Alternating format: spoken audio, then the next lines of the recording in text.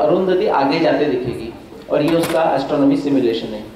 Meridian line है, अरुंधति थोड़ी सी, ज़्यादा फ़र्क नहीं है, लेकिन अरुंधति ऑलरेडी क्रॉस कर चुकी है मेरिडियन दिखता है जो नदी के लोगों को। और वशिष्ठ को अभी भी क्रॉस करना है। वशिष्ठ और राइट में remember motion is anticlockwise ये हमने जो अभी दिखाया मैंने आपको, इसको बोलते हैं प्रत्यक्षा ऑब्जेक्टिव टेस्टिंग जो मैंने किया, वो आप भी कर सकना चाहिए, आपको भी यही रिज़ल्ट मिलना चाहिए।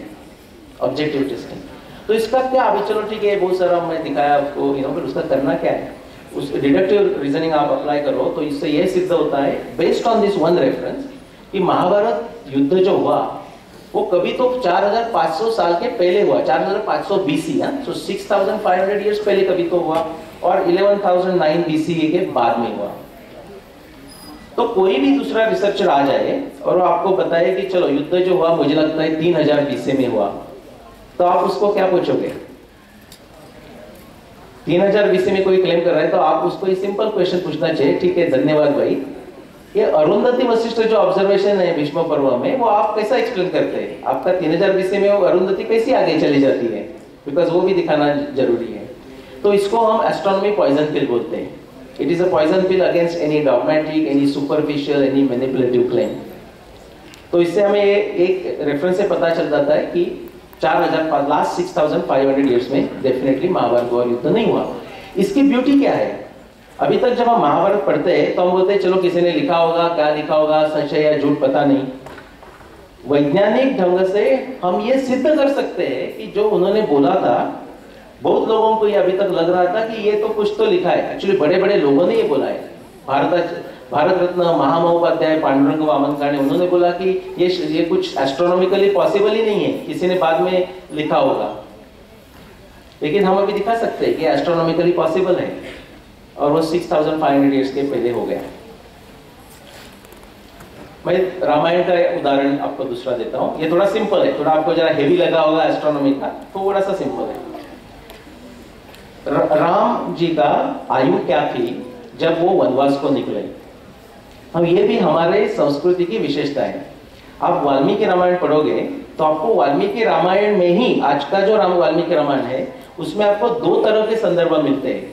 Two sets I call it एक संदर्भ के अनुसार ऐसा लगता है, जो बोला गया है, कि राम राम की आयु थी सत्रह साल की, जब वो वनवास निकले। और दूसरा सेट है, उससे निकलता है कि राम की आयु थी पच्चीस साल की ट्वेंटी फाइव तो आपको जी सोच रहे चलो भाई राम का आयु का लेके क्या करना? उसका बहुत सारा एस्ट्रोनॉमी से संबंध है बिकॉज़ जस्ट जिस दिन वो वनवास के लिए जा रहे थे, उस दिन में एस्ट्रोनॉमी बहुत सारे डिस्क्रिप्शन है। उस दिन प्लेनेट की स्थिति क्या थी? और वो कोई भी जब दावा करता है तो वो सत्रह और पच्चीस किया तो जो सत्रह में होगा, वो पच्चीस में नहीं होगा। ये ये प्रॉब्लम हो जाता है।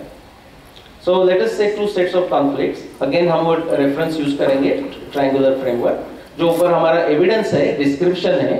वो क्या बोलता है? एक सेट बोलता है कि राम का आयु सत्रह अठारह साल की थी। ओके नो सत्रह अठारह इसलिए कि कभी कभी आपको कोई पूछता है कि आप, आप कितना ओल्ड है? तो कभी कभी आप बोलते हैं आपका साल कितना कंप्लीट हो गया बोलते हैं। है ना? कभी कभी आपका कौन सा साल चल रहा है वो बोलते हैं। इधर इधर में जो हमारे माता जी है और यू नो वो, वो वो क्या बोलते हैं? वो तो कभी उनको एज पूछना ही नहीं। राइट ऐसा ऐसा कहा जाता है अमेरिका में तो कहा जाता है कि लेडीज़ का एज 39 के बाद आगे बढ़ता ही नहीं। Okay okay? 19, 29, 39 उसके बाद पूछने का नहीं ये थोड़ा सा ह्यूमर है। राम का 25 साल का ऐसा दूसरा सेट है। तो हम इसमें से कैसे सिलेक्ट करें। कैसा सिलेक्ट करें। तो बहुत बार कोई लोग इसका ओपिनियन में ऐसा है उसके ओपिनियन में ऐसा है और जो कोई संदर्भ है उसको ट्विस्ट करते हैं टर्न करते हैं जस्टिफाई करते हैं मॉडिफाई करते हैं। कोई ज़रूरत नहीं है। बाय लक दैवम चैवात्र पंचम बाय लक वी कैन हमें एक्चुअली उसमें एविडेंस मिल जाता है। तो आपको मैं दिखाता हूँ आपको। क्विकली जाऊँगा मैं। तो अनुमान ये मैं आपको अनुमान दे रहा हूँ पहले। और वो कैसा मैं कैसा मैं उधर पहुँचा वो आपको बताऊँगा। तो ये जो दोनों वाल्मीकि रामायण में डिस्क्राइब किए हुए हैं, उसमें से आप एडिशनल रेफरेंसेस एविडेंस को देखोगे तो आपको ये सिद्ध कर सकते हैं आप कि राम की जो आयु थी वो सत्रह अठारह साल की थी, जब वो वनवास को निकले और पच्चीस की नहीं थी। ओके अभी देखते हैं क्यों। तो पहला सेट का जो एविडेंस है, उसमें ये लिखा है, दोनों, दो रेफरेंसेस है, उसमें बोला है, मैं पढ़ूँगा नहीं दश सप्तच वर्षाणी तव जात से राघव जब राम निकले वनवास के लिए तो उनकी आयु सत्रह साल की थी। दूसरा एक गोरेसियो करके अनदर टेक्स्ट एडिशन है, रामायण का, उन्होंने आइडेंटिफाई किया हुआ इंडिया से।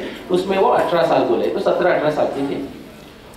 इससे ज़्यादा दूसरी, दूसरा जो सेट ऑफ़ एविडेंस है, वो भी वाल्मीकि रामायण में है, उसमें लिखा है ये सीता बताती है उसमें कि राम राम की आयु 25 साल की थी और मेरी आयु 18 साल की थी जब हम वनवास को निकले।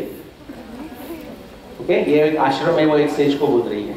और दूसरे जगह वही फिर रिपीट किया गया हुआ है, दूसरे कांड में, कि राम की आयु 25 मेरी आयु 18 ऐसे सीता बोल रही है। और ये और भी बोलते हैं कि हम दोनों युद्ध क्या बोलते हैं, शादी के बाद 12 साल अयोध्या में रहे और उसके बाद वनवास में गए।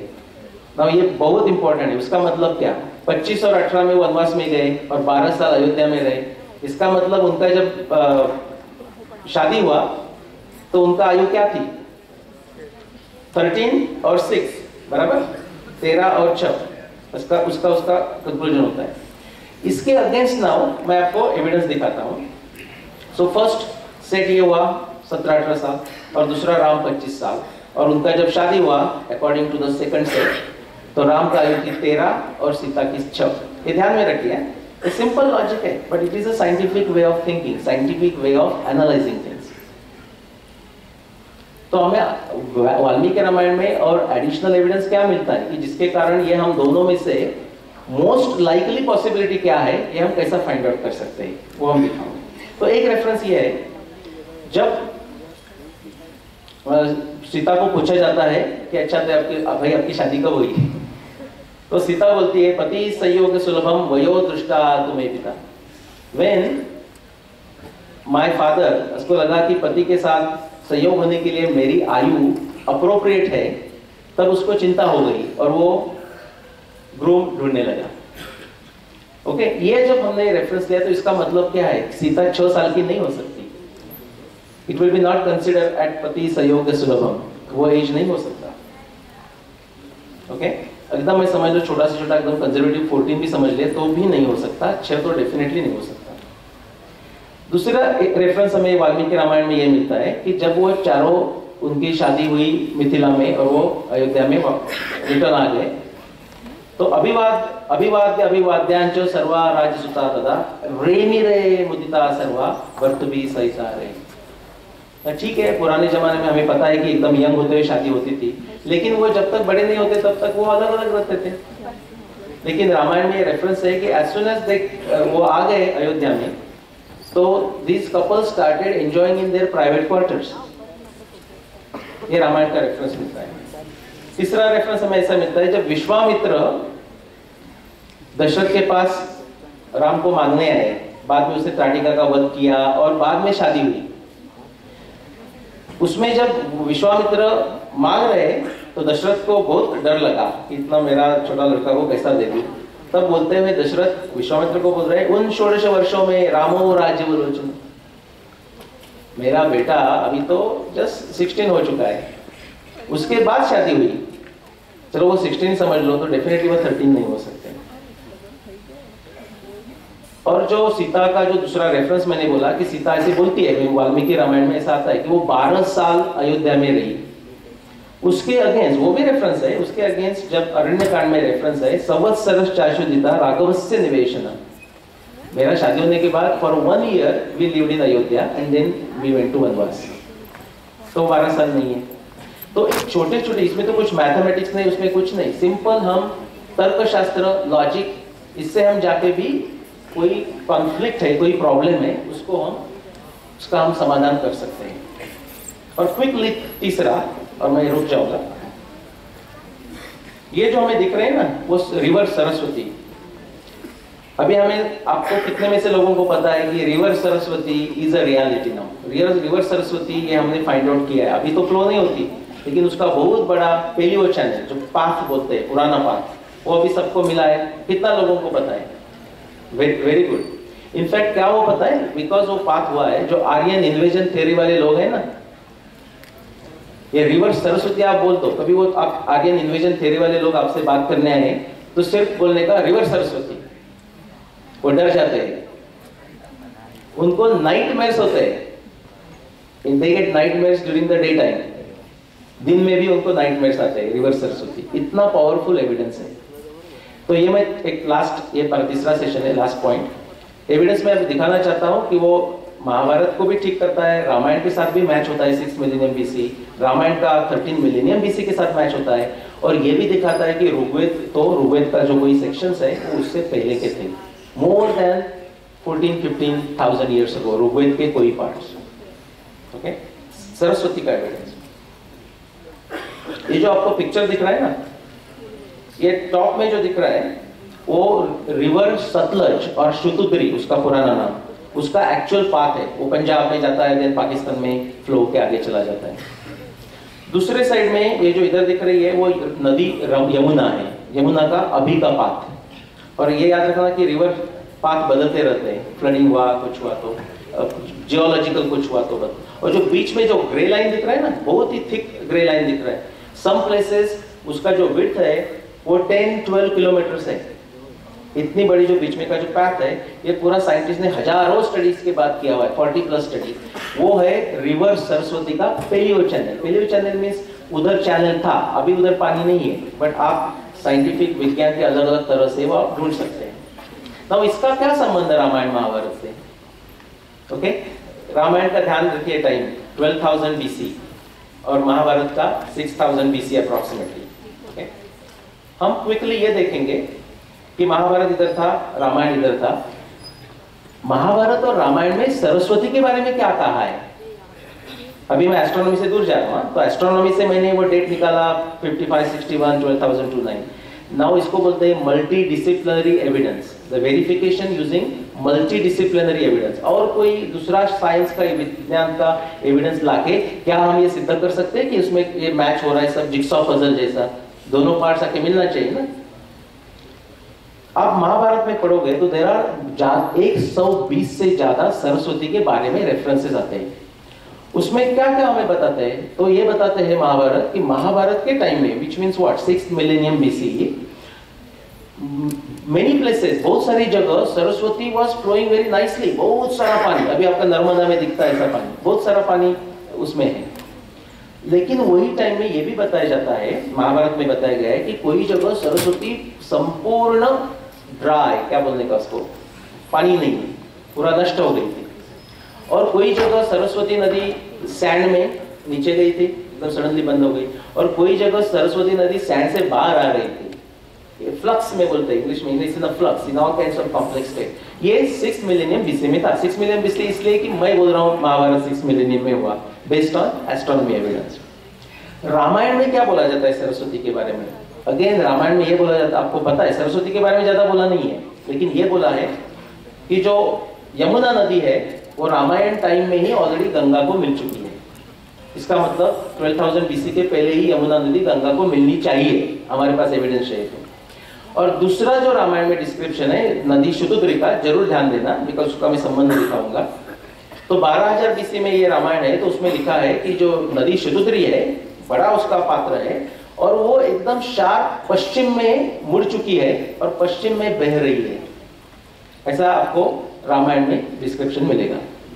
ये क्यों महत्वपूर्ण है? आप जियोलॉजिकल एविडेंस में पीछे जाओगे तो आपको ये पता चलेगा कि रिवर सरस्वती इतना बड़ा grandest of the grand river अंबित में नदीत में देवीत में सरस्वती ये ऋग्वेद का वाक्य है।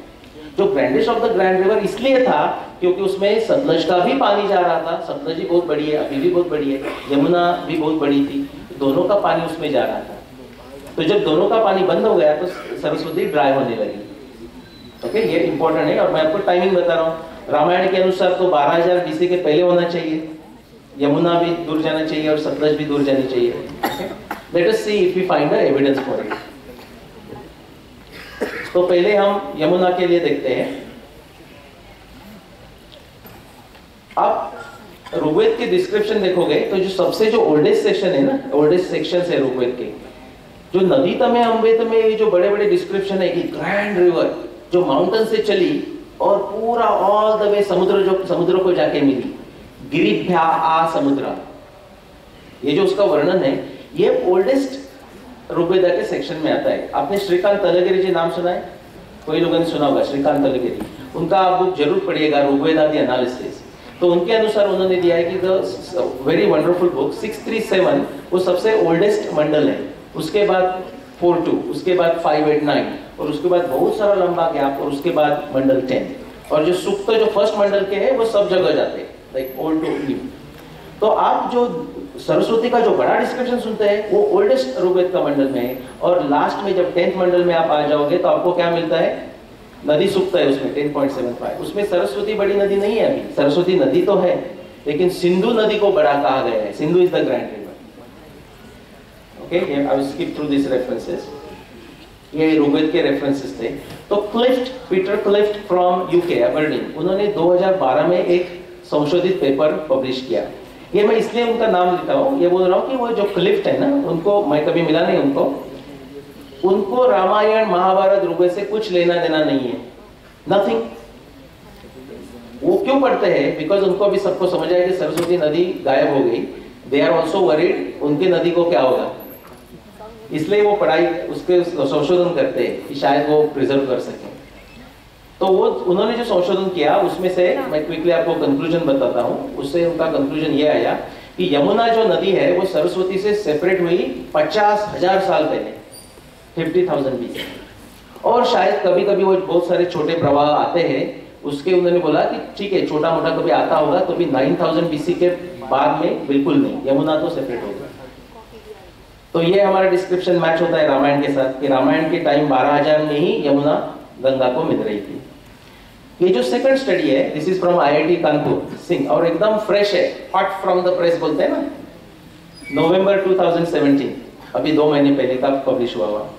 उन्होंने क्या किया अपस्ट्रीम सरस्वती जो हमारा हरियाणा का एरिया है पंजाब का एरिया है उधर उन्होंने कोर्स ड्रॉ किया। अर्थ में जाके स्ट्रेट नीचे जाएँगे और 40, 50, 60 मीटर्स का मटेरियल लाएँगे विदाउट डिस्टर्बिंग इट और उसमें जियोलॉजी का विज्ञान यूज़ करके वो बोल सकते हैं कि इधर नदी बहती थी, इधर कुछ नहीं था, इधर ड्राई था, ऐसा हम बता सकते हैं।